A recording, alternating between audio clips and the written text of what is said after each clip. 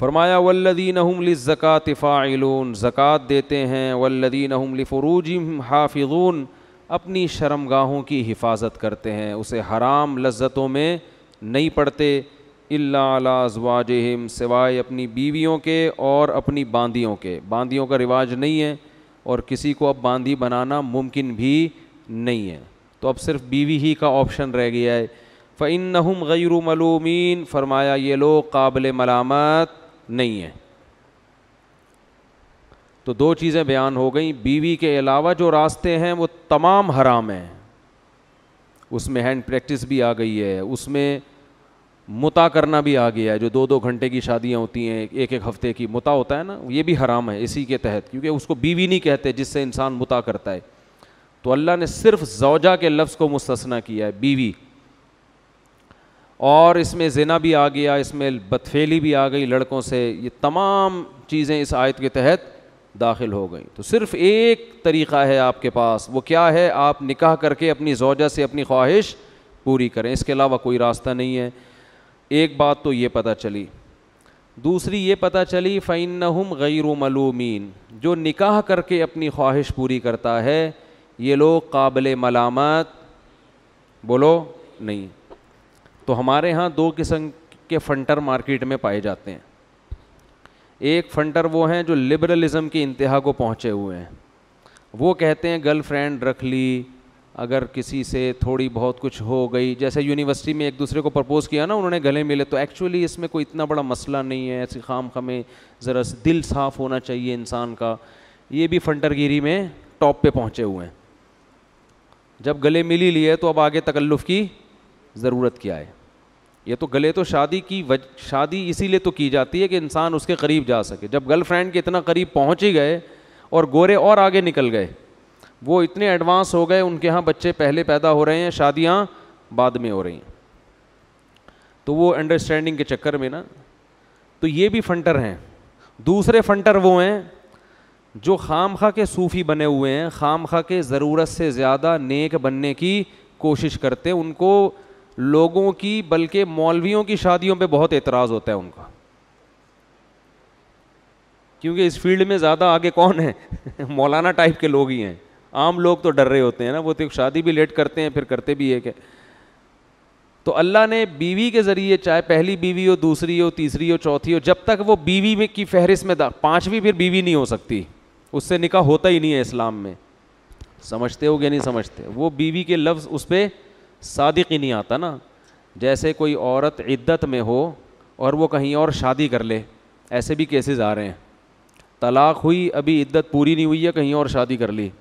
तो जहाँ वो शादी करेगी तो वो शादी इस्लाम में मुनदी नहीं होगी तो वो उसकी बीवी बनेगी ही नहीं, जिना ही होगा वो। तो इस्लाम ने भी कुछ शर्तें बताई हैं ना तो चार अगर किसी की मौजूद हैं तो वो पाँचवीं करेगा तो वो पाँचवीं होगी नहीं, वो बीवी कहलाएगी नहीं। तो जब तक बीवी है तो अल्लाह ने अगर कोई शख्स निकाह के ज़रिए अपनी ख्वाहिश पूरी करता है तो अल्लाह फरमा रहे हैं, ये काबिल मलामत। बोलते क्यों नहीं? नहीं है। तो इस मामले में भी फंटर बनने की कोशिश ना किया उससे फैसला ना किया करें। अब, वो ये क्या कर रहा है? अब, इसको देखो क्या हो गया। अच्छा इसमें भी बहुत से, जल्दी से ये करके मेरा आज ये टॉपिक नहीं है बहुत अहम है मजामी ने आगे। एक फंटरगिरी इसमें यह भी होती है कि चलो बीवी करनी थी तो खूबसूरत लड़की क्यों तलाश की है? इस पर भी लोगों को क्या होता है? पेट में मरोड़। कि चलो किसी ने शादी करनी ही थी तो खूबसूरत से, कम उम्र से क्यों की? इसमें तकलीफ़ उसको होनी चाहिए जिसको पैगाम निका भेजा है। ठीक है ना? कि आपकी उम्र ज़्यादा, बुढ़ापा आप पे आ रहा है, बाल आपके सफ़ेद हो गए तो आपको मेरे लिए पैगाम भेजते हुए शर्म नहीं आती? उसको तकलीफ़ होनी चाहिए ना, जो सत्रह साल की, सोलह साल की, अठारह साल की है। अगर उसको तकलीफ़ नहीं हो रही है या उसके अब्बा को नहीं हो रही है तो फिर अगर महल्ले वालों को तकलीफ़ हो रही है तो ये महल्ले वालों, वो कीड़े वाला लतीफ़ा सुन ले मेरा। वो जो दरख्त से गिरा था ना बंदा, समझ में आ रही है बात? दरख्त से गिरना था। अभी आज एक केस सामने आया कि एक बड़ी उम्र के साहब थे, उन बड़े मालदार थे तो उन्होंने शादी की कम उम्र खूबसूरत लड़की से। लड़की भी खुश है पैसा बहुत था उनके पास। अब वो जहाज़ों में लड़की ना, दूसरे मुल्कों में, वो साहब कहीं यूरोप में रहते हैं। कोई समझेगा नहीं किसकी बात हो रही है, क्योंकि अब ज़ाहिर है यूरोप में तो दर्जनों साहब रहते हैं ना। बाज़ लोग कहते हैं, आपने हमारा किस्सा सुना दिया? तो किसी को क्या पता भाई मैं किसका किस्सा सुना रहा हूँ? ऐसे तो बहुत लोग हैं। तो यूरोप में रहते हैं, वो बेगम के बहुत मज़े हो गए। बंगले शंगले बना के दे दिए उसको, वो गरीब लड़की। अब लोग एतराज़ कर रहे हैं कि ये देखो, इतनी उम्र का होके इतनी कम उम्र से शादी की है। तो जिससे शादी की है, वो खुश है। ठीक है वो क्या है? वो क्या है? बल्ले बल्ले हो गई और क्या चाहिए? उसके कज़नों में एक से एक हैंडसम पड़ा हुआ है, लेकिन जेब में रोकड़ा नहीं है उनके। तो उसने कहा, भाई, पुराना हो, जेब में रोकड़ा हो, ये नए से, ये हर एक की अपनी थिंकिंग होती है। बाज़ों को ये नहीं होता, बाज़ कहते हैं, गरीब होना चाहिए, लेकिन जवान आदमी होना चाहिए। तो ये अल्लाह ने उसको चॉइस दी है कि भाई वो खुद फैसला करे। तो ये आपस की अंडरस्टैंडिंग होती है, कौन कहाँ शादी कर रहा है। तो जहाँ भी जो कर रहा हो ना, वो उनका आपस का मामला होता है। उसमें कबाब में हड्डी बनने की कोशिश ना किया करें। अल्लाह से दुआ मांगा करें, अल्लाह मुझे भी कोई दिला दे, बस। इतना हक बनता है आपका। ठीक है। इससे ज़्यादा आपको तकलीफ़ होगी तो ये आपकी अपनी टेंशन है। हसद है आपको खाम खा में घुलेंगे और टेंशन के अलावा कुछ भी हासिल नहीं होगा। हाँ किसी बड़ी उम्र के आदमी ने किसी खूबसूरत या कम उम्र लड़की को बेवकूफ़ बना के शादी की है तो फिर इस पर एतराज़ बनता है, बाज़ दफ़ा ऐसा भी होता है।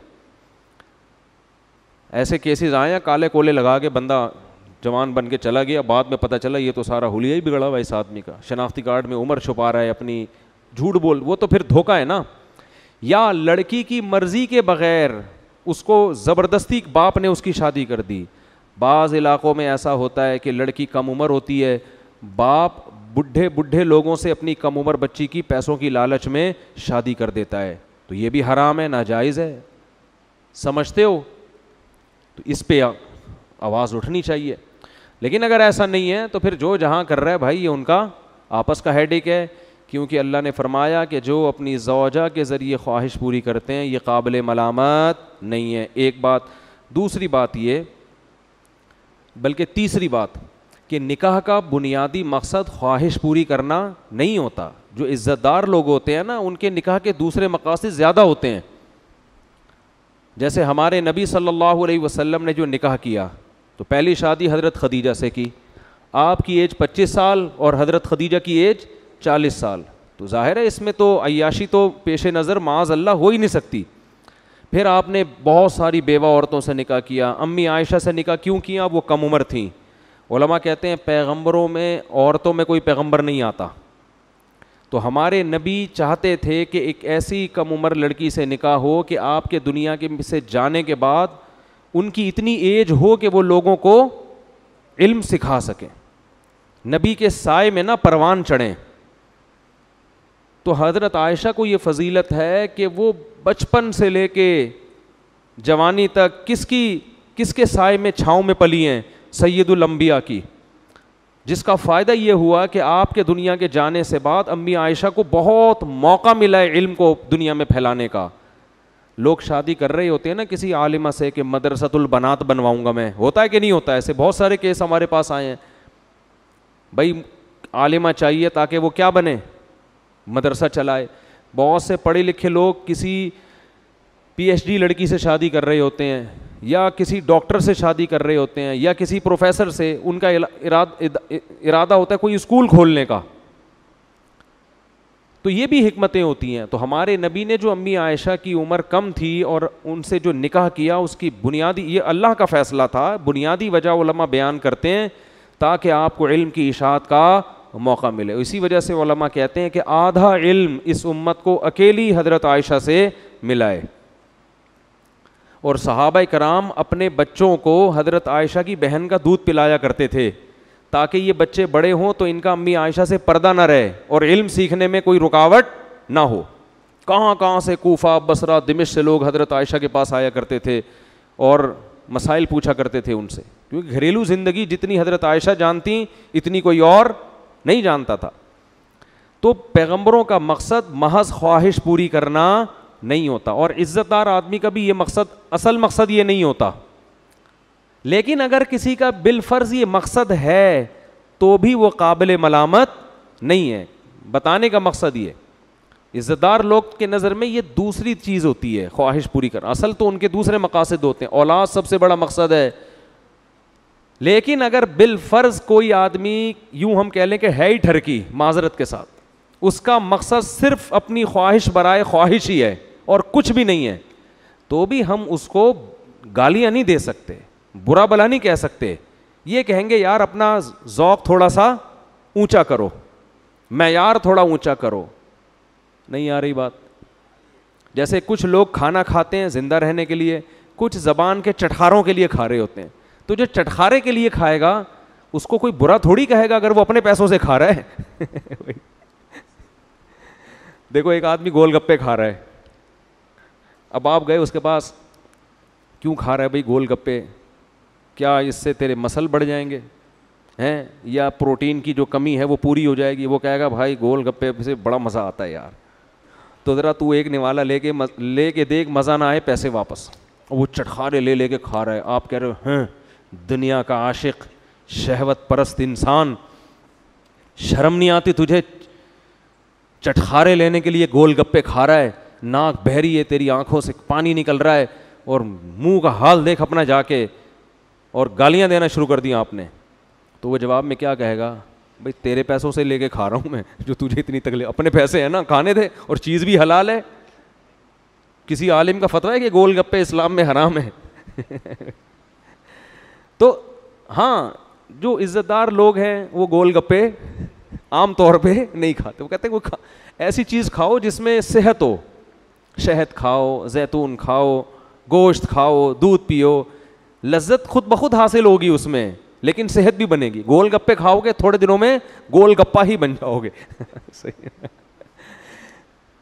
तो थोड़ी बहुत हल्का फुल्का समझाया तो जा सकता है लेकिन काबिल मलामत नहीं, हलाल चीज़ है, हलाल चीज़ है। तो ऐसे ही निकाह का बुनियादी मकसद महज ख्वाहिश पूरी करना नहीं होता। ये बड़े बाज़ौक लोगों का ये मकसद, यानी बाज़ौक से मुराद जिनका जो ऊँचे ज़ौक़ के लोग हैं, जो दुनिया में कुछ काम करना चाहते हैं। लेकिन अगर किसी का मकसद सिर्फ़ ख्वाहिश पूरी करना है तो भी वो काबिल मलामत नहीं है, जैसे कि कुरान में इस आयत में अल्लाह ने बता दिया। तो अगर कोई अपने खर्चे पे शादी कर रहा है, खुद टेढ़ा, मेढ़ा, आड़ा, तिरछा, नीला, पीला, तोंद निकली हुई है और किसी हसीना से शादी करता है और हसीना को भी कोई एतराज़ नहीं है तो फिर आपको भी कोई एतराज़ नहीं। आपको ये एतराज़ तो हो सकता है कि मुझसे क्यों नहीं की? ठीक है ना? ये एतराज़ आपका बनता है। तो अगर वो आपको आपको कह दे, भाई, आप मुझे समझ में नहीं आ रहे थे तो फिर वो जिससे चाहे करे। तो ये आजकल हमारे माशरे में एक बहुत बड़ा अलमिया है और ये औरत के लिए भी है। तलाक याफ्ता या बेवा औरत, अगर वो कोई उसको अच्छा लग रहा है, कोई हैंडसम लग रहा है, कोई स्मार्ट लग रहा है, वो चाह रही है कि मैं इससे शादी करूँ, ये मुझे अच्छा लग रहा है तो कुरान औरतों के बारे में तो बहुत वाज कहता है। ला ताज़ुलहन्ना इनको मत रोको इस बात से कि ये जहाँ निकाह करना चाहें, वहाँ निकाह करें। इस बात से उनको बोलते क्यों नहीं? मत रो। ऐसे केसेस अब भी आ रहे हैं। तो मैं बहुत कम फ़ोन सुनता हूँ, लेकिन जब भी सुनो, कोई ना कोई कहानी सामने आती है। तीस तीस साल की खातन तीस साल में तो औरत जवान होती है। दो बच्चे तलाक हो गए।